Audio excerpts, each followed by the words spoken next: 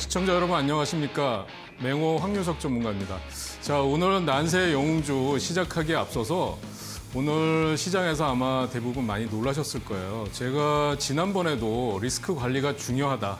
종목들이 많이 무너진다. 지난 시간에 말씀을 드렸는데 정말 이렇게까지 그냥 맥없이 무너질 줄은 저는 뭐 미처 상상을 못 했었습니다. 아마 실제 투자하시는 투자자 여러분들 많이 그 난감하셨을 거고 황망하셨을 걸로 생각이 됩니다. 코스피는 그러니까 제가 이제 심리적인 지지선이라고 했던 3,100선이 무너지고 끝났는데요. 과거에 강세장 같으면 일시적으로 무너졌다가도 종가에서 올려놓고 끝났는데 그냥 그런 것조차도 없이 그냥 종가가 저가로 무너지는 모습을 보여줬고요. 코스닥은 진짜 심리적인 마지노선이 천선이라고 생각을 했는데 천선도 맥없이 무너지고 끝났습니다. 그래서 어 이제 한숨을 쉬시는 분들 많으실 거고 이제 어떻게 해야 되나 고민하시는 투자자 여러분들 많으실 것 같아요. 근데 만약 이게 우리나라 증시만의 문제라면 어, 이게 그 시간이 오래 걸리고 앞으로 회복하는데 여러 가지 문제가 생길 수 있겠지만 아시아 증시가 동반 하락을 했고요. 어, 특히 중화권 증시, 홍콩 증시뿐만 아니라 그동안의 강세장을 연출했던 대만 증시도 거의 2%의 폭락세를 보였습니다. 저는 그 원인이 뭘까 뭐 생각을 해보고 하는데 어, 아마 저는 뭐 많은 사람들이 어, 테이퍼링을 얘기해요. 근데 저는 그거보다는 대만은 사실은 중국과의 문제, 영토 문제가 상당히 복잡한 나라 중에 하나인데 어, 저는 그렇게 생각합니다. 미국의 아프간 철수가 대만의 그 지정학적 리스크를 키웠다. 저는 그렇게 보고 싶고요. 그래서 이제부터 상당히 시장이 정말 힘들어질 것 같다라는 말씀을 먼저 드리고요. 어, 투자자 여러분들 또는 시청자 여러분들 힘내시고 이제부터 정말 냉정하게 투자를 잘 하셔야만 된다는 말씀을 드리고 오늘 강의를 시작해 보도록 하겠습니다. 자, 넘어가 볼 텐데요. 그래서 제가 제목도 리스크 관리라고 했고요. 그동안에 이제 그 어, 방송이 되었던 난세 영웅주를 종합적으로 총 정리하는 거. 그래서 다음 주에 걸쳐서까지 종합적으로 총, 총 정리하는 시간을 가지려고 하는데 오늘이 그 첫 시간입니다. 네, 그래서 어, 이제 그동안 방송됐던 난세용주 여러분들이 뭐 유튜브에서 보시거나 다시 복습을 하셔도 좋은데 자 이제는 정말 시장을 정확하게 여러분들이 어, 분석하고 판단하셔야 될 때가 됐다라는 말씀을 드리면서 시작해 보도록 하겠습니다. 자 넘어가 볼게요. 자 이제 보면은 제가 지난번에 그랬잖아요. 이 시장이 더도 말고 덜도 말고 골디락스 장세 같지만 되라. 그 얘기는 뭐냐면 뜨겁지도 차갑지도 않게 급등하지도 않고 급락하지도 않게 그럭저럭 가면은 종목 장세에서 수익이 날 수 있다. 그렇게 말씀을 드렸어요. 근데 어 제가 그랬죠. 이 뜨겁지도 않고 차갑지도 않게 가려면 어 미국의 3대 지수가 적어도 1% 이상 하락하면 안 되는 거예요. 근데 어 3대 지수가 중에 뭐 지금 뭐 한 그 0.8% 거의 1%나 다름이 없고요. 나머지 지수는 뭐 1% 이상 하락하면서 마감이 됐습니다. 그래서 골디락스 장세냐 이거예요, 지금. 제가 그래서 지난번에도 종목이 무너지는 장세는 이게 좋은 장이 아닙니다. 지수는 올라가도 종목이 무너지면 수익을 낼 수 없는 장이에요. 어, 지금부터 굉장히 여러분들 신경 써서 대응하셔야 된다는 말씀을 드리고 싶고요. 아까도 말씀드렸지만 무엇보다도 리스크 관리가 첫 번째라는 말씀 다시 드리면서 넘어가 보도록 하겠습니다. 자, 이제 보면 포지셔닝에 대한 얘기를 했는데 트레이더와 애널리스트를 했는데 여러분들이 만약에 주식으로 큰 돈을 벌겠다 그러면 여러분들은 트레이더가 돼야 될까요? 애널리스트가 돼야 될까요? 당연히 트레이더가 되셔야죠. 그래서 어, 저는 사실은 트레이더입니다. 근데 제가 애널리스트 역할까지 여기서 하고 있으니까 많이 힘들죠. 저는 원래 주식을 매매하는 트레이더죠. 실전에서 매매하는 트레이더인데 그래서 제가 지난번에도 말씀드렸지만 뭐 대우증권 투자 대회에서 3등을 했고 전문가 수익률 대회에서 한 달에 계좌 수익 20%로 1등을 했다. 그 20% 수익률은 아직도 깨지지 않고 있다라는 말씀을 드렸잖아요. 그러니까 저는 트레이더인데 여러분들이 보면 매일같이 경제 TV나 또는 증권 방송에서 접하는 애널리스트들이 아침부터 저녁까지 종목을 분석하고 또 시황을 분석하고 시황을 예측하는 그런 사람들은 다 애널리스트예요. 예, 그래서 지금 포지셔닝을 여러분들이 돈을 벌고 싶다 그러면 어, 뭘 해야 된다고요? 트레이더로 해야 돼. 자, 트레이더와 애널리스트는 어떻게 다를까요? 한번 넘어가 보도록 할게요. 자, 트레이더의 신조와 원칙 그랬어요. 트레이더는 시장에 관계없이 매일 수익을 내는 걸 목표로 하고 있어야 돼요. 그래서 근데 사람이 어떻게 매일 그러니까 신궁이라고 하는 활의 명수도 매일 쏘는 열 발을 다 명중시킬 수는 없잖아요. 우리 뭐 도쿄 올림픽 양궁에서도 봤습니다만 매일 10점을 쏘는 것마다 다 10점을 쏠 수는 없잖아요. 신궁이라고 해도. 그런데 그래서 가장 중요한 게 뭐냐면 현금이에요. 현금. 내가 투자하는 금액의 적어도 몇 퍼센트는 매일 현금으로 챙기고 장을 넘어가야 돼요. 그래야 그 다음 날에 내가 매매할 수 있는 그런 포지셔닝이 생기는 거예요. 현금은 시드머니예요. 매일 챙겨야 돼요. 혹시 내가 오늘 좀 손실을 봤다고 하더라도 마찬가지예요. 그래서 아 내가 내 일장에서는 어느 정도 현금을 가지고 넘어가야 되겠다. 매일 생각을 하셔야 돼요. 자, 그다음에 애널리스트하고 트레이더의 차이점은 뭐냐면 애널리스트는 정말 이런 표현을 해서 저가 그렇긴 하지만 뭐 관계 없는 것, 쓸데없는 것까지 다 알아야 돼요. 시황에 분석에 예측에 하려면 종목이 그런 것까지 다 알아야 되는데 트레이더는 사실 그것까지 알 필요 없어요. 넓고 얕게 다할 필요가 없어요. 그래서 그럼 뭐냐면 내가 관심 있게 보는 지, 종목들, 업종들 또는 그런 패턴의 종목들이 어떻게 움직이느냐, 어떤 재료에 따라서 움직이느냐, 어, 그 다음에 그런 패턴을 가진 종목들 중에 대장주는 뭐고 어떻게 움직이느냐. 그래서 선택과 집중을 하는 게 중요합니다. 그러니까 어떻게 보면 트레이더가 머릿속이 더 심플할 수가 있겠죠. 복잡하지 않고. 자, 그런데 지금 보면 지금 시장의 큰 흐름은 미국 주식을 예를 들면요. 지금 시장의 큰 흐름은 시가총액 상위를 차지하는 빅테크 기업들하고 그다음에 개인들이 선호하는 밈 주식들, 공매도에 관련된 주식들하고 어, 이 그 보이지 않는 싸움을 하고 있어요, 매일같이. 그래서 지수가 강하다 그러면 이쪽이 강한 거고요. 만약에 시장이 급락한다 그러면 이쪽에서 수익을 내려고 개인 투자자들이 달려드는 거예요. 그래서 어, 이런 종목들의 패턴을 분석하는 게 상당히 중요합니다. 실적 발표가 지금 미국 주식도 거의 마무리가 되고 있어요.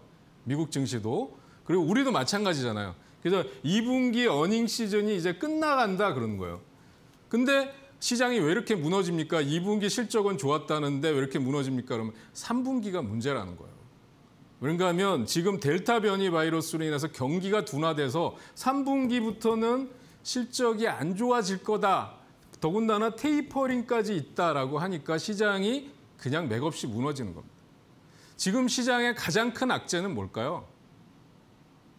가장 큰 악재는요. 너무 많이 올랐다는 거예요. 대부분의 주식이 다 고점에 있다는 거예요. 그래서 어디서든 때려도 이상하지 않은 거죠. 제가 지난번에 그랬죠. 급락이나 하락 조정은 예고 없이 온다 그랬잖아요. 시그널을 다만 보여주는 거예요. 아까 그랬죠. 조, 종목이 무너진다. 지금까지 종목 장세였는데 종목이 무너지는 장세가 오면 그때는 위험하다. 이게 시그널이다. 그런 얘기를 드렸어요. 그럼 많은 분들이 나는 매일매일 수익을 내겠다 생각을 해요. 근데 지금 시장에서 수익을 내는 거는 정말 어려워졌어요. 그러니까 왜 그러냐면 지수나 종목이나 주가가 너무 많이 올라와 있기 때문에 그래요.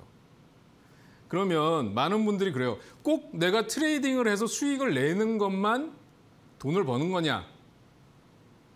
정말 중요한 걸 잊고 있는 게 뭐냐면요.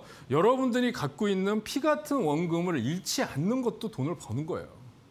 내가 천만 원을 갖고 했는데 이걸 가만 놔두면 300만 원이 손실이 날 거를 내가 한 50만 원에서 손절을 했다. 250만 원에 보이지 않는 돈을 본 겁니다. 그러니까 많은 분들이 이거를 굉장히 중요한 건데 이거를 간과해요. 그러니까 어떻게 하냐면 나는 무조건 내 사전에 손절은 없다 그래서 계속 물타기를 하는 거예요. 살짝 발을 담궜다가 금방 빼면 되는 건데 너무 깊이 들어와서 나중에 이제는 몸이 다 잠겨 있어서 어떻게 해볼 수도 없는 상황에까지 이르게 되는 겁니다. 자 넘어가 보도록 할게요. 또 분할 매수를 진입한다 이렇게 했잖아요. 그래서 제가 항상 강조한 게 뭐냐면 물타기 하지 마시라 이거예요. 그럼 뭐 하냐? 산타기 하라는 거예요. 산타기. 예? 올라가는 종목에서 눌림목에서 잡으시라는 거예요. 그래서 그럴 때 자꾸 추가하라는 거예요. 그리고 내려올 때 도저히 안 되는 종목들은 조금 내려올 때 바로 커트를 하라는 거죠. 딜리트 하라는 거예요. 물타기 하지 말고 산타기 하라라는 거 계속 제가 강조를 해드렸습니다. 그동안. 자, 넘어가 보도록 하겠습니다. 자, 리스크 관리를 할 때 많은 분들이 그래요. 근데 저는 그러니까 이 그 매매를 해본 사람들 또는 매매 달인이라고 하는 사람들 제야의 고수들이 많이 있습니다. 어, 제가 아는 고수들만 해도 많은데 지금 여러분들은 매일같이 매일같이 사서 사야 돼요. 그리고 또 매일같이 팔아야 돼요.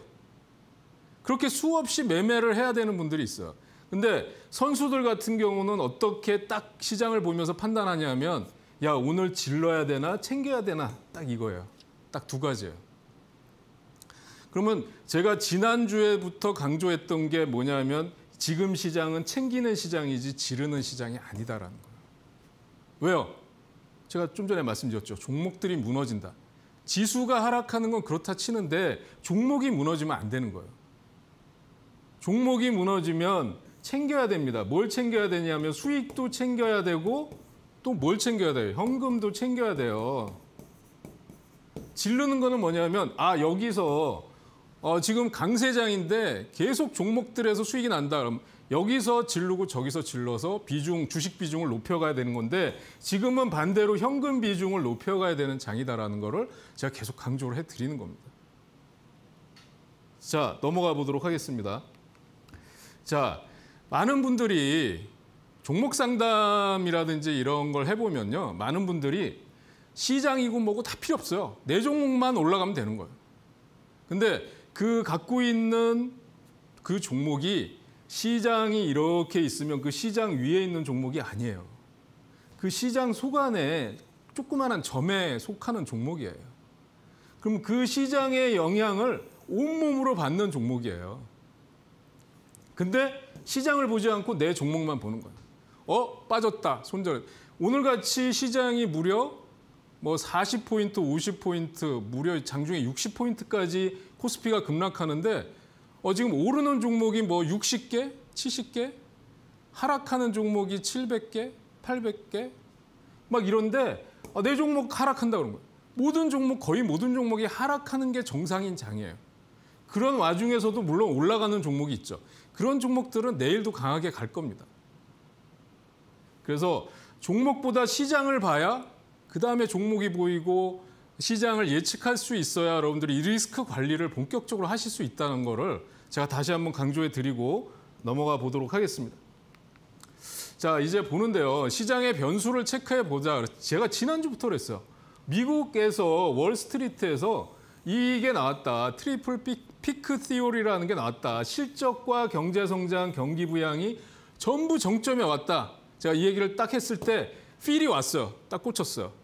뭐가 필이 왔냐? 아, 이제 질르면 안 되겠구나. 현금 비중 늘려놓고 내가 질르는 것 질렀다 뺐다. 저는 미국 주식을 매매하는데 단타를 많이 해요. 그러니까 이 밤에 잠을 안 자고 뭐 풀타임으로 매매를 한다 그러면 그렇게 안 해도 되겠지만 저는 기본적으로 잠을 자야 되기 때문에 어, 수익이 한 20% 15% 났다 그러면 무조건 차익 실현하고 현금 비중 높여놓은 다음에 잠을 자요. 왜? 그다음에 after market에서 충분히 매수 기회가 있어요. 정말 살려면 after market에서 사면 돼요. 자, 그다음에 델타 변이 바이러스가 확산이 되고 있습니다. 우리나라는 지금 매일 2천 명 넘어가거나 뭐 육박하고 있죠. 미국은 지금 하루에 10만 명이었다가 신규 확진자가 10만 명이었다가 13만 명으로 늘고 있다고 해요. 그리고 일본은 지금 2만 명이 넘어가고 있습니다. 이게 글로벌 트렌드예요. 델타 변이뿐만 아니라 뭐 람다 변이까지 와서 지금 경기 둔화가 우려된다. 지금 베트남 같은 경우는 하루에 뭐 2, 300명이 사망자가 나온다고 해요. 베트남은 얼마 전까지 신규 확진자 제로였어요. 뉴질랜드 뭐 이런 나라 청정국이라고 선언했었잖아요. 저는 집이 미국이에요. 그래서 LA인데 LA를 이제 가려고 추석 연휴 때 저는 티켓 그 항공권을 예약을 하고 전화를 했어요. 전화를 했더니 저한테 물어보는 게 넌 미국에 오게 되면 제일 먼저 뭘 하고 싶냐 그러더라고요. 어, 누나가. 그래서 저는 당연히 어, LA 다저스 경기 보러 가겠다. 저는 메이저리그 광팬이거든요. 그랬더니 뭐라 그러냐면 오지 말라는 거예요. 그래서 왜 그런가 하고 제가 확 좀 물어봤더니 LA 다저스 경기할 때 사람들이 꽉 찬다는 거예요. 그 스타디움에 꽉 차는데 그 수많은 사람들 치고 마스크 한 사람을 본 적이 없다는 거예요. 그러니까 네가 그 경기장에 가는 순간 너는 그야말로 용광로 속에 들어가는 가는 거다.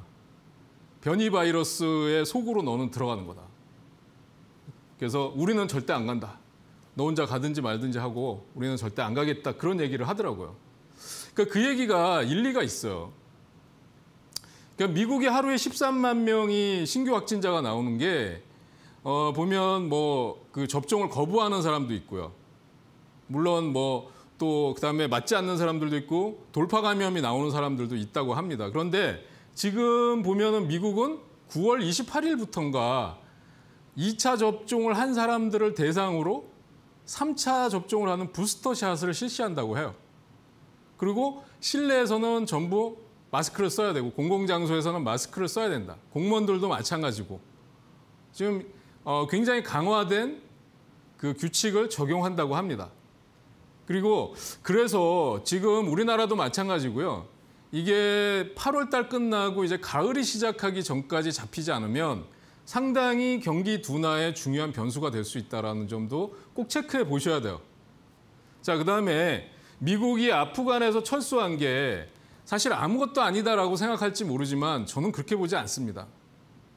지금 이 아프간에 그 탈레반이 들어오면서 탈레반이 누굽니까? 2001년도에 그 저 미국 그 테러를 했었잖아요. 기억하시죠? 그래서 2011년도에 미국이 그 오사마 빈 라덴을 사살하는 그런 지경까지 갔었는데 미국이 아프간에 철수하면서 탈레반이 정권을 잡으면 중국이 또 추파를 던질 거고 이걸로 인해서 미중 갈등이나 지역의 리스크는 저는 커질 걸로 보고 있습니다. 우리도 여기서 예외가 될 수 없다라고 저는 보고 있어. 그래서 앞으로 저는 대박주가 방위산업 관련주다라고 생각도 하고 있습니다.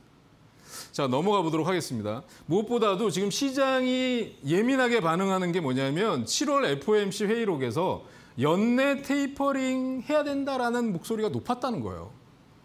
테이퍼링은 채권 매입 규모를 줄이는 거죠. 그게 바로 시장을 위축시키는 효과가 똑같이 오는 겁니다. 금리 인상과 거의 비슷한 효과가 오는 거예요. 자, 그 다음에 반도체 쇼크가 왔어요. 겨울이 왔다. 그래서 지금 제가 보니까 삼성전자 같은 경우에 지난주 한 주간 외국인들이 7,300만 주를 순매도했어요. 그 기관은 그러면 방어를 해줬나 봤더니 기관도 480만 주 정도로 순매도 했습니다. 한 주 동안에. 그러고서 뭐라 그러냐면 갑자기 삼성전자, 신만전자 뭐 얼마 한두 달 전, 전만 해도 막 난리 났었잖아요. 실적이 너무 좋고 2분기에 뭐 그랬는데 갑자기 지금 너도 나도 7만 전자 얘기를 하고 있죠. 그런데 이 반도체는 원래 3분기, 4분기가 더 성수기예요. 여러분들 그 Thanks gi Thanksgiving Day의 가장 큰 선물, 크리스마스 선물 Thanksgiving Day의 가장 큰 선물이 바로 어린 애들이 받고 싶은 선물이 바로 컴퓨터 아니면 휴대폰, mobile phone이라고 하는 거죠. 자, 그리고 테슬라 AI Day가 아, 이제 우리 시간으로 이제 금요일 아침입니다. 아침. 미국 시간으로 오늘 밤, 새벽 뭐 이렇게 되겠죠. 근데 테슬라 AI Day 때문에 테슬라가 올라갔어요. 근데 테슬라 따라서 올라가던 자동차 부품주들, 배터리 관련주들, 2차 전지 관련주들이 올라가다 다 꺾였어요. 그래서 저는 어떻게 생각하냐면 만약에 우리나라도 테슬라 따라서 올라갔던 자동차 부품주들 내일장에서 다 위험하다라는 거예요. 왜? 지금 때릴 수 있는 게 그런 것들밖에 없어요. 수익이 난 걸 때려야 될 거 아니에요. 그 다음에 28일 날 잭슨홀 미팅이 있다고 하는데 저는 여기서 아무리 파월 의장이 뭔가 좋은 얘기를 해도 시장의 호재로 받아들여지지 않을 거라고 보는 겁니다. 왜? 이미 연내 테이퍼링 다 준비해놓고 그것 때문에 시장이 쇼크를 받았었어요. 어떤 말로 위로를 해줘도 이제는 반응이 그다지 좋지 않을 거로 봅니다. 자, 넘어가 보도록 하겠습니다. 이게 지금 시장에 체크해야 될 변수고요. 자, 코스피가 3,200선 지지선을 이탈했는데 지금 이게 제가 하루 전에 만 이제 캡처한 차트예요. 오늘 3,100선이 깨졌어요. 이거 보면 지금 여기가 뭐냐면 이동평균선상으로 이게 코스피인데요. 이동평균선상으로 121선이에요, 여기가. 그러면 5일선, 11선, 21선 이게 지금 여기에 다 모여 있는데 장기 이평선을 그냥 깨고 내려갔어요. 여기서 보면 지금 이렇게 내려간 와중에 여기 보면 거래량이 급감해야 되는 거예요. 이게 바닥이다라고 하면. 근데 지금 지지선이고 뭐고 다 깨고 내려가면서 완전히 역배열로 넘어가는 자리에 있습니다. 그러니까 3,200선이 지지선이고 3,300선이 저항선이다 이랬잖아요. 최고 여기 3,316이라고 돼 있잖아요. 근데 지금 그런 의미가 하나도 없어졌어요. 그러니까 이제는 여기가 어디가 저점이냐. 지금 그런 상황입니다. 자, 넘어가 보도록 하겠습니다. 코스피가 박스권을 이탈했다는 걸 제가 지금 말씀드리는 건데 제가 이걸 지금은 주봉을 보면서 말씀드린 거예요.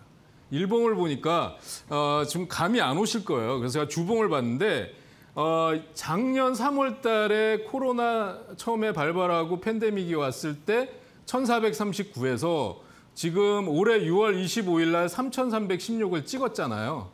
예, 주봉상으로 보면 지금 그 이후에 어떤 모습이 나타나고 있나요? 하나, 둘, 오늘 하락까지 친다면 이게 봉이 더 내려갔겠죠. 음봉이 장대 음봉으로 점점 변해가고 있겠죠. 어, 지금 박스권을 이탈하면은 어떤 현상이 나오냐 하면 추가적인 하락이 나올 수 있고요. 그 다음에 그 다음부터는 어, 급락이 나온 다음에 바로바로 바로 여기가 저점이다라고 하면 이런 신호가 나와야 되거든요. 음봉이 나온 다음에 바로 장대 양봉으로 카바를 해줘야 돼요.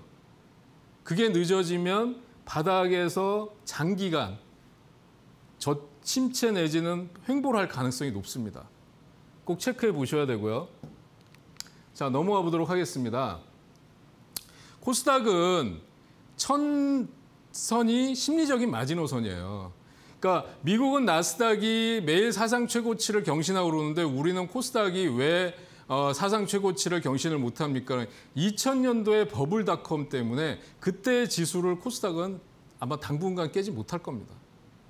자 여기서 보면 어, 3월 달 똑같죠. 올해 3월 달에 어, 지금 877 저점을 기록하고 나서 지금 여기서 보면 8월 6일 날 1062를 기록했어요. 그리고 나서 여기 보면 121선이 1000입니다. 121선이 1000에 걸려 있어요. 그러니까 그동안은 이게 난공불락의 지지선이다라고 했던 게 지금은 속절없이 깨져가지고 995, 6도 아니에요. 종가에 보니까 992인가? 990인가로 종가 같은 최저가로 끝났어요. 그래서 아, 이게 내일이 더 심각한 거 아닌가라는 생각이 들어요. 자, 넘어가 보도록 하겠습니다. 코스닥이 1030선을 빨리 돌파해 주느냐가 중요한 거예요. 제가 왜 코스닥을 말씀드리냐면 코스피는 만약에 하락을 하더라도 코스닥이 살아있으면 종목 장세로 해서 수익을 낼 수가 있어요. 근데 코스닥마저 이렇게 급락을 해버리면 시장은 그야말로 그동안 기다렸던 투매가 나오기 시작한다는 거죠. 오늘은 기관이 투매를 했다고 하더라고요. 근데 제가 보기엔 기관이 투매한 게 아니라 아, 물량을 던졌겠죠. 투매라는 거는 뭐 손절을 하고 마구잡이로 던지는 건데 제가 볼 땐 그렇게 보이지는 않았습니다. 자, 보면 아까 말씀드린 것처럼 419가 작년도 코로나 팬데믹이 왔을 때 이게 역사적인 저점이죠. 그런데 여기서 보면 1062 계속해서 하락을 하고 있는 겁니다. 주봉을 통해서 제가 보여드린 거예요. 코스닥의 주봉을 통해서 보여드린 겁니다. 자, 넘어가 보도록 하겠습니다. 자, S&P 500의 지수를 보면 지금 미국도 보면요. S&P 500이 연일 사상 최고가를 경신했는데 한 방에 여기 보이시죠? 한 방에 윗골이 달린 음봉이 지금 여기 그 일목균형표 구름 캔들을 넘어섰다가 여기서 지금 이렇게 되는 모양을 보여주고 있는데 여기 보면 이게 MACD라고 하는 거 아시죠? 그다음에 이거는 어, 스토캐스틱이라고 하는 거예요. 근데 여기서 보면 지금 고점 신호들이 조금 잡히는 그런 흐름들이 있어요. 그래서 추가적인 하락 생각을 해야 된다. 여기 구름대까지 들어온다 그러면 이거는 문제가 심각해지는 거거든요. 그래서 한번 체크를 해보시라 아, 넘어가 보도록 하겠습니다. 나스닥의 경우도 지금 보면은 이 나스닥의 이 노란 선은요. 노란 선은 이게 한국의 코스피 지수예요. 코스피 지수는 여기를 보셔야 되고요. 여기를 보셔야 되고 그다음에 여기는 나스닥이에요. 그러니까 노란 선, 노란 선은 코스피입니다. 노란 선은 코스피고 나스닥하고 코스피를 이렇게 연, 연동해서 이렇게 해놨는데 자 여기 보세요. 나스닥은 고점 찍고 14,896 8월 5일 날 고점을 찍고 꺾이는 게 확연히 보이죠. 근데 만약에 이 구름대까지 들어오면 추가적인 하락이나 조정 기간이 길어질 수 있다는 거를 염두에 두셔야 되고요. 아까 마찬가지로 MACD와 여기 스토캐스틱의 보조 지표들을 보면 꺾이는 걸 아마 느끼실 거예요. 아까 S&P 500은 이렇게까지 꺾이진 않았는데 여기서 벌써 나스닥은 꺾이고 있습니다. 그래서 제가 볼 때는 지금 테이퍼링이 나올 때 보면 위험한 거는 기술주들의 하락은 훨씬 더 가파르게 나타날 수 있다는 거예요. 그 기술주 내지 성장주에 대한 얘기를 말씀드리는 겁니다. 자, 넘어가 보도록 하겠습니다. 자, 나스닥의 일봉을 제가 한번 보여드리려고 하는데 아까 그 본 차트보다 훨씬 선명하게 보이죠. 꺾어지는 강도가 아마 느껴지실 거예요. 하락 각도가 느껴지실 거예요. 그리고 여기 보면 이게 61선, 어, 이게 121선입니다. 그러니까 61선 근처까지 내려온 거죠.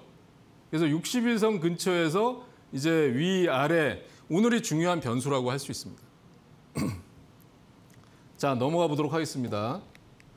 자, 제가 우리나라는 그러니까 한국 증시와 미국 주식을 딱 놓고 볼 때 제가 지난번에 그랬죠. 한국 주식이 뭔가 상황이 안 좋고 어, 더 수익을 내기 힘들 때는 미국 증시 주식이 대안이 될 수 있다고 그랬죠. 우리는 왜 그러냐면 중국을 또 봐야 돼요, 우리는. 왜? 중국이 지금 중국의 수출 비중이 높기 때문에 중국의 규제라든지 중국 증시라든지 이런 쪽에 움직임을 보지 않으면 안 되는데 자, 중국 상해 지수에 지금 일봉을 한번 같이 보고 계시는데요. 지금 이, 올해 2월 18일 날 3,700의 최고점을 찍고 나서요. 지금 최저점은 언제냐면 7월 28일 날 3,310이에요. 근데 지금 보면 여기서 급등락을 보이는데 오늘 같은 경우도 추가 하락이 나왔기 때문에 여기서 아마 음봉으로 돌아섰을 거예요. 홍콩 증시는 지금 홍콩에서 외국인 자금들이 빠져나가고 있고 어, 홍콩의 부자들은 지금 너도나도 어, 이민을 어, 가려고 하고 있기 때문에 자금들이 빠져나가고 있기 때문에 중국의 규제라든지 어, 중국의 지금 최근에 강성 그 정책 때문에 어, 자금들이 빠져나오고 있어요. 그럼 중국은 자체적으로 가능하냐 하면 중국도 지금 미중 갈등이 격화되고 그다음 규제가 강화되고 이러면서 경기가 둔화되면 지금 벌써 경제 지표들이 안 좋게 나오고 있죠. 2분기 GDP도 시장 예상치를 하회할 거다라는 게 대체적인 의견입니다. 그래서 중국 증시까지 우리는 봐야 되기 때문에 지금 여기저기 이중고를 겪고 있다고 말씀드릴 수 있겠습니다. 7월 한 달 동안에 우리 증시에서 외국인들이 5조를 순매도했어요. 그리고 기관은 2조 7천억을 순매도했습니다. 이걸 개인들이 다 받아냈는데 자 여기서 보시면 제 5조 중에 2조 4,700억을 전기전자 업종에다가 팔았어요. 그러니까 삼성전자 하이닉스를 판 겁니다. 그럼 기관이 방어를 해줬어야 되는데 기관은 팔짱을 끼고 있었죠. 그 밖에 화학이라든지 운수 장비 업종에서 매도를 했습니다. 이게 우리나라 주로 수출 업종이잖아요. 운수 장비는 자동차하고 조선입니다. 그래서 7월 달 거를 제가 보여드리고 7월 달보다 8월 달이 더 심각하다라는 걸 보여드리려고 합니다. 8월 한 달 동안에 외국인들은 5조 천, 아, 외국인들은 6조 천억을 매도했나요? 6조네요, 6조. 그리고 기관들은 2,700억을 매수했는데 6조 천억을 매도한 중에 7조를 전기전자 업종에서 매도를 한 거예요. 삼성전자 하이닉스를 대고 때린 겁니다. 그러면 기관들이 방어를 해줬냐? 방어를 해줬죠. 천억 정도 방어를 했는데 이걸로 방어가 안 되잖아요. 누가 다 담, 담았습니까? 개인들이 다 담았어요. 제가 이거를 보여드리는 이유는 지금 8월 달은 이런데 그러면 아까 5조랑 8월 달을 다 합치면 지금 벌써 8월 달이 다 끝난 게 아니잖아요. 19일까지인데 5조하고 6조만 합쳐도 외국인들이 11조를 매도한 거예요. 자, 이거 넘어가 보도록 하겠습니다. 근데 지난 한 주 동안, 지난 한 주 동안만 딱 놓고 봤어요. 8월 달 전체를 보지 않고. 그랬더니 지난 한 주 동안만 7조 7천억을 판 거예요. 기관은 1조 1,500억. 그리고 여기 보면 7조 7천억을 매도한 중에 8조 5천억은 전기전자 업종. 기관이 방어했느냐? 기관 방어 안 하고 팔짱만 끼고 받고 이 물량을 개인들이 다 받아냈습니다. 자, 삼성전자 하이닉스 실적이 좋으니까 기다리며 올라오겠지라고 분석하는 애널들이 아, 아직도 있더라고요. 근데 제가 말씀드리는 거는 아직 저점을 확인 안 했습니다. 떨어지는 칼날을 절대 잡으시면 안 돼요. 자, 넘어가 보도록 하겠습니다. 그러니까 외국인들의 매도가 상당히 심각한 수준이다라고 말씀드리는 거고요. 지금 미국 증시는 그러면 들어가서 종목을 잡아서 수익이 내기 쉬우냐? 절대 안 그래요. 미국 주식을 보고 있으면 그러니까 pre-market이나 after market의 변동성보다는 미국 증시 본장이 시작되는 밤 10시 반에 시작이 되면 그러니까 너무 어지러워서 보기가 어려울 정도예요. 그러니까 이런 식으로 출렁거립니다. 이런 식으로. 플러스 마이너스를 오고 가는데 계좌 내 계좌의 수익이 순식간에 마이너스 20만 원, 30만 원, 100만 원까지 오락가락해요. 그러니까 여러분들이 과연 그런 그 이 파도를 건딜 수 있겠냐는 거죠. 지금 그동안 미국 백신과 바이오주들이 어, 시장을 주도했었어요. 특히 모더나 같은 경우는 연초 대비해서 뭐 40배 올랐다 이런 얘기까지 나오고 있잖아요. 근데 지금 보면 여기 장중에 이게 제가 종가 기준으로 한 건데 다 음봉 맞았죠. 다 음봉 맞았고 여기서 양봉 맞은 게 몇 개 없어요. 다 음봉 맞았습니다. 근데 하락폭은 크지 않아요. 화이자도 신고가 경신한 다음에 그랬고요. 존슨앤존슨도 지금 52주 신고가입니다. 그리고 여기 보면 유나이티드 헬스 그룹이라고 하는 어, 헬스케어 관련주도 52주 신고가예요. 그리고 리제네론, 뭐 애브비, 그다음에 노바티스, 노바백스 백신 아시죠? 그다음에 카사바 사이언스라고 하는 어, 알츠하이머 치료제. 우리가 아는 거는 이제 바이오젠이 알츠하이머 치료제 승인을 받 FDA 승인을 받은 걸 알고 있는데 어, 잘 모르지만 그 미국에서 알려진 카사바 사이언스라고 하는 중소형 바이오 관련주가 지금 임상을 진행을 하고 있는 거예요. 그러니까 이런 지금 그 코로나 팬데믹 다시 그 대유행을 하고 있는데 변이 바이러스에 강한 거 지금 이걸로 지금 연구가 집중이 되고 있는 거죠. 그리고 백신 플러스 뭐예요? 치료제입니다. 미국도 백신 플러스 치료제인데 백신이 단연코 우선이죠. 그래서 지금 이러한 종목들은 그러면 왜 어, 계속해서 올라가야지 조정을 받습니까? 나중에 차트를 볼 기회가 있으면 아시겠지만 너무 많이 올라갔어요, 급하게.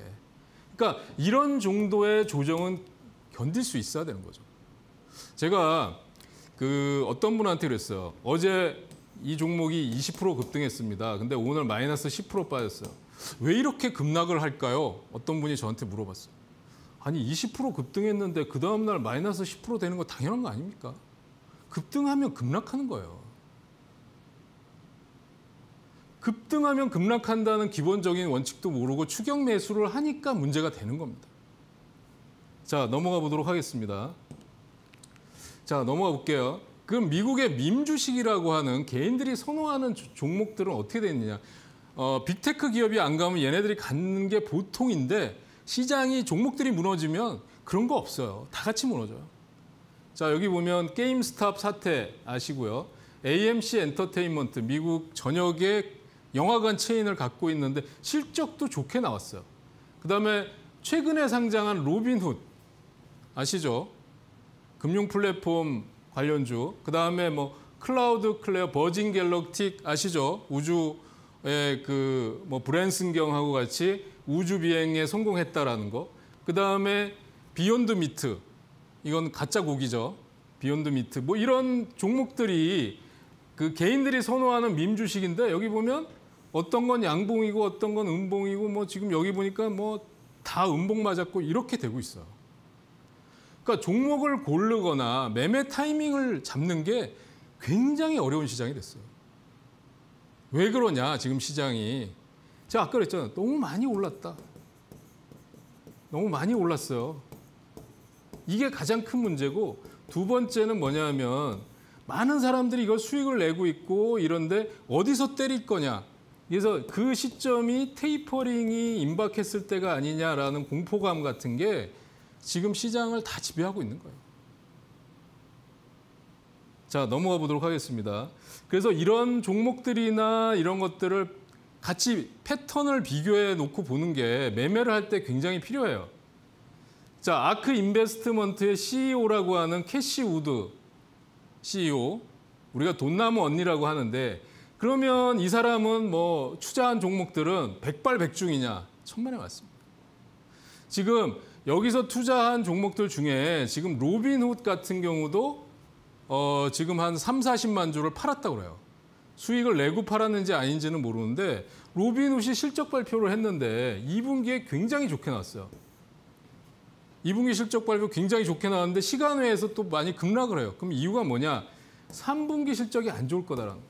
얘네가 수익을 낼 수 있는 기반이 암호화폐 쪽에서의 매출이 급증하고 실, 저 수익성이 조, 좋아진 건데 암호화폐가 이제 앞으로 어, 사용이나 이런 쪽에서 어려워질 거다.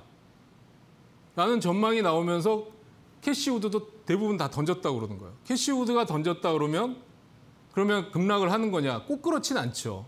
그리고 여기 보면 뭐 종목들이 쭉 있습니다. 테슬라도 있고 뭐 코인베이스라고 하는 나스닥 상장된 최대의 가상화폐 거래소인데 지금 이쪽도 많이 던졌다고 그래요.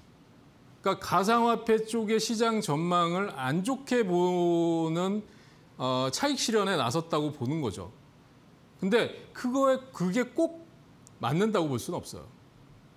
그래서 가상화폐 가격의 최근 움직임 같은 것들도 봐야 되고요. 그래서 지금 시장, 미국 시장에서 수익을 내려면 여러분들이 어떻게 해야 되냐면 아까도 말씀드렸잖아요. 한 방에 질르면 안 되는 거예요. 조금씩 조금씩 발을 담궈봤다가 아닌다 그러면 빨리 빠져나와야 되는 거고요. 그 매수 타이밍을 여러 번 나눠서 해야 되는 거고 실적이 다 노출돼서 너무 많이 올라간 종목은 쫓아가면 안 되고요. 조정을 받을 만큼 받고 나서 어, 차트에서 바닥에서 터닝을 하는 종목들을 공략을 해야 되는데 이것도 딱 잡자마자 수익이 나기는 정말 어렵습니다. 우리나라 시장도 마찬가지잖아요. 자, 넘어가 보도록 하겠습니다. 패턴을 분석하는 게 지금 수익을 낼 수 있는 가장 좋은 방법이에요. 이, 이 수많은 종목을 우리가 일일이 어떻게 다 알겠어요. 자, 지금 보면 가상화폐 관련주들 있어. 가상화폐 관련주들 보면 어떤 거는 양봉인데 윗꼬리 아랫꼬리를 무지하게 달았어요. 윗꼬리 아랫꼬리를 달았다는 거는 위로 아래로 변동성이 계속 엄청나게 움직인다는 거죠. 그러니까 시작해서 딱 뜰 때 잡으면 이만큼의 손실이 나는 거죠. 만약에 이렇게 됐다 그러면 여기서 잡았다. 그럼 종가가 여기다 그러면 이만큼이 손실을 내고 손절을 하느냐 내가 이걸 가지고 참아야 되느냐 또 매일 고민에 시달리게 되는 거예요. 자, 여기 보시면 아까 코인베이스라는 게 있었고 채굴 관련 주들이 있어. 그래서 미국이 그 지난번에도 제가 말씀드렸지만 미국 의회에서 그 인프라 관련 법안 그 1조 달러 규모의 그걸 통과시킬 때 가상화폐 쪽에다 과세를 해야 되겠다 이랬어요. 근데 가상화폐 쪽의 과세는 브로커한테만 하고 채굴업자나 개인 투자자들은 제외를 시키는 걸로 어, 지금 되면서 그 가상화폐 관련주들이 올랐어요. 그 강하게 올라가면서 어, 비트코인도 지금 그 4만 3천 달러를 넘어서 4만 7천 달러까지 갔었어요. 근데 지금 좀 더 빠지고 있죠. 그러니까 가상화폐가 앞으로 어떻게 될 거냐라는 것 때문에 불안감이 작용을 하고 있는데 저는 어떻게 보냐면 가상화폐가 올라가는 이유는 금리 인상과 관련이 있고 금리가 인상되면서 시, 지금 그 유동성을과 관련된 우리가 지금 쓰는 화폐 가치가 떨어지면서 가상화폐나 새로운 뭐 디지털 화폐의 가치가 올라가는 것 때문이 아니냐. 그래서 이게 일시적으로는 등락이 있겠지만 길게 장기적으로 보면 유망한 투자가 처가 아니냐 이렇게 생각을 하고 있어요. 자 넘어가 보도록 하겠습니다. 자 지금 미국의 급등 종목에 대해서 제가 말씀드리려고 하는데 미국은 미국 주식은 상한 폭이 없어요. 우리는 30% 있잖아요. 그러면 미국은 매일 막 급등락하는 종목이 수없이 막 속출할 것 같은데 제가 8월 18일 기준으로 미국에서 20% 미국 전체 장에서 20% 이상 올라가는 종목을 여기다 했어요. 152%된 거 보이시죠? 82%, 50%. 우리나라 상한폭을 초과하는 건 3개밖에 없어요. 그럼 20% 이상은 몇 개냐? 하나, 둘, 셋, 넷, 다섯, 여섯, 일곱, 여덟, 아홉, 열, 열 개. 그 다음에 아까 얘기한 3개. 20% 이상 올라가는 종목 13개밖에 안 돼요. 네? 상한 폭이 없는데 이상하지 않아요? 막 매일같이 막 1000%, 100%, 막 200%씩 나올 것 같은데 절대 안 그렇습니다. 그래서 상한 폭이 없다. 이건 굉장히 위험한 시작이다. 이런 선입견과 편견을 갖지 마시라는 거예요. 자, 반대로 그러면 급락 종목은 어떻게 되는 겁니까? 상한폭이 없으면 급락하는 것도 그런데 급락 종목은 더 적어요. 급락 아까는 20% 이상 올라가는 걸 봤잖아요. 20% 이상 하락한 게 없어요. 10% 이상 하락한 거 보면은 지금 10% 이상 하락한 게 이게 전부예요. 셋, 여섯, 아홉, 열둘, 열다섯, 열여덟. 열여덟 개 정도만 10% 이상 하락한 거예요. 위험하지 않잖아요. 지금 여기 보면 17% 하락했잖아요. 네. 그러면 아까 급등하는 종목과 급락하는 종목의 차이가 뭐냐면 급등하는 종목은 대부분이 미국도 바이오 관련주들이 많아요.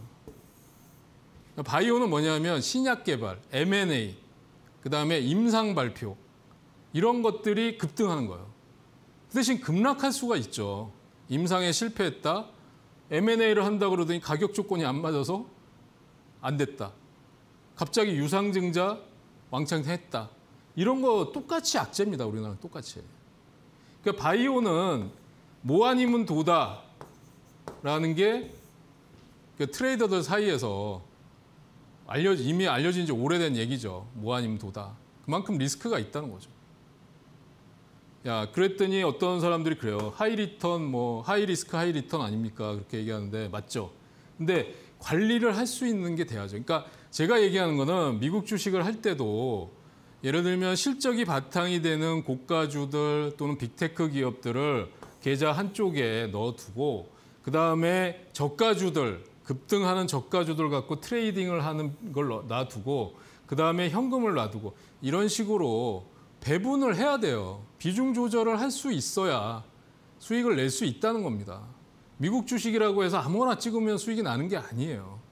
우리나라 주식도 마찬가지잖아요. 그래서 제가 상한 폭이 없기 때문에 위험하다라는 거는 이게 잘못된 선입견과 편견이라는 거를 보여드리고 넘어가 보도록 하겠습니다. 자, 원달러 환율 보는데요. 1179원까지 갔었어요. 그러니까 저는 1110원, 1120원 때 그 원화를 달러로 바꿔 다 바꿨어요. 저는 뭐 3,500만 원 투자할 때 다 바꿨어요. 그래서 지금 그 얼마 전에도 빼고 지금도 매일 빼고 있어요. 현금화 시키고 있어. 그러니까 거기에 제가 뭐 1억 이상 투자를 했다 그러면 환차익만 해도 어마어마하겠죠. 근데 저는 지금 미국 주식을 투자하는 분들은 저는 한꺼번에 돈을 많이 바꾸지 마시라고 말씀드리고 싶어요. 지금 금리 인상을 한다든지 그렇게 나왔을 때 그 환율이 계속해서 올라가기는 저는 어렵다고 봐요. 그래서 지금 1170원에서 1168원까지 내려왔다 오늘 1175원인가 종가는 76원인가 그렇게 됐어요. 근데 1150원을 넘어갈 때부터 이미 박스권 다 뚫어버린 거죠. 그러니까 이런 상황에서 외국인들 매수를 기대하기는 어렵다는 거예요. 외국인들은 왜 매일 팝니까? 그렇게 물어보시는 분들이 있어요. 그럼 여러분들을 입장에서 생각하면 내가 달러를 갖고 있는 게 계속 유리한 건데 왜 원화를 바꿔서 한국 주식을 삽니까? 이렇게 반대로 물어볼 수밖에 없는 거죠. 자, 넘어가 보도록 하겠습니다. 환율에 대한 부분은 여러분들이 매매하기 전에 반드시 체크하셔야 돼요. 그 서부 텍사스산 원유 유가가 51불이 아, 저점이었어요. 올해 1월 달에. 그 다음에 고점이 76달러가 나오면서 그때 기억하시죠? 아, 이제 서부 텍사스 원유가 연말에 100달러 넘어갈 거다. 다들 나와서 그렇게 얘기했었던 거 기억하시나요? 근데 지금 결과는 어때요? 66불입니다. 그러니까 우리가 왜 유가를 주목하냐면 유가와 경기 지표는 같이 가는 거죠. 경기가 좋아진다, 경기가 호전된다 그러면 유가는 계속 올라가요. 그때 어떤 분이 그래요. 아, 전기차 나오고 이제 뭐 어, 그 수소차 나오고 이러면 어, 우리가 화석 연료라고 하는 석유는 계속 떨어지는 거 아닙니까? 그거는 아직 먼, 먼 미래의 얘기입니다. 지금 당장은 유가가 경기의 바로미터다. 그래서 지금 보면 박스권이 64달러에서 72달러 정도에서 박스권이 있을 것 같아요. 그러니까 지금 경기 둔화 시그널이 나타나면 유가는 못 오릅니다. 감산 뭐 이런 재료하고도 연관이 될 수 있겠지만 못 올라요. 자, 넘어가 보도록 하겠습니다. 이게 지금 시황을 분석하다 보니까 종목 얘기를 많이 못할 것 같아요. 그러니까 비트코인 관련 이거를 보니까 4만, 그러니까 3만 달러가 깨졌었잖아요. 3만 달러 깨졌다가 4, 4만 4만 6천 달러, 7천 달러까지 갔다가 지금 4만 4천 달러 내려와 있거든요. 이게 이제 어제 기준인데 오늘 지금 현재 시세는 어 제가 체크를 못 해봤어요. 근데 지금 박스권을 돌파했다 4만 3천 달러. 이 가상화폐 앞으로의 시세를 놓고는 5만 달러가 고점이다. 아니면 연말에 10만 달러 간다. 천만에 앞으로 3만 달러 깨질 거다. 온갖 지금 얘기들이 난무하고 있죠. 누가 맞을지는 알 수 없죠, 저도. 다만 어, 가상화폐가 없어지진 않을 거다라는 거는 저는 확신하고 있습니다. 어제 미국 3대 지수의 장중 흐름을 한번 보여드릴 텐데요. 보고 있으면 이게 전일 종가 기준선이에요. 전일 종가 기준선인데 이게 다우 지수입니다. 그럼 이렇게 하다 쭉 빠져서 종가가 저가로 끝난 거죠. 나스닥 보세요. 장중에 그래도 플러스가 나왔었잖아요. 쭉 빠집니다. S&P 500은 장 시작할 때 잠깐 플러스 나왔다가 그대로 곤두박질 쳤어요. 그러면 지금 이 3대 시장에서 제일 강한 건 나스닥인 거예요. 왜? 얘는 장중에 플러스 났다가 여러 번 시도를 하다가 꼭 꺾어진 거예요. 그러면 지금 우리가 우리 지금 투자자들 입장에서 어 지금 종목 장세로 수익을 내겠다 그러면 미국은 나스닥이 살아야 돼요. 그래야 종목이 사는 겁니다. 나스닥이 무너지면 어, 지금 제가 볼 때는 코스닥은 두 배 이상, 코스닥은 훨씬 더 많이 빠질 거예요. 코스닥은 개인들이 다 갖고 있는 시장이잖아요. 그럼 어떻게 돼요? 막 빠지거나 시장이 위험하다 그러면 투매가 나와요. 신용도 많아요.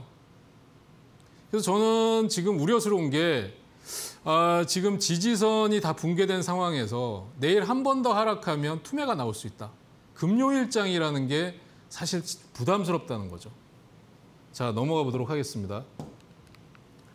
자, 제가 어제 S&P 500 맵을 보여드렸는데 자, 이 S&P의 500개 기업을 지도로 만들어 놓은 거예요. 근데 여기 지금 오른 거, 오른 거 녹색은 테슬라 하나밖에 없어요. 3.5%. 나머지 다 뻘겋잖아요. 예? 아마존 그렇죠. 그 다음에 마이크로소프트, 애플, 지금 뭐 엔비디아, 뭐 할 것 없이 존슨 앤 존슨 그동안 잘 갔던 백신 관련주들, 뭐 헬스케어 관련주들, 소비재, 코스트코, 월마트 다 지금 하락하고 테슬라만 올랐어요. 테슬라 AI 데이라는 거죠. 자, 그래서 지금 오늘 제가 이제 준비를 했었는데 시간 관계상 더 이상은 제가 보여드리기가 조금 힘들 것 같아요. 그래서 다음 시간에 어 이제 리스크 관리의 종합 총정리 어 이제 그 후반부를 어 다음 시간에 이제 보여드릴 걸 약속하고요. 오늘은 여기서 어 마감을 하도록 하겠습니다. 저는 내주에 다시 뵙겠습니다.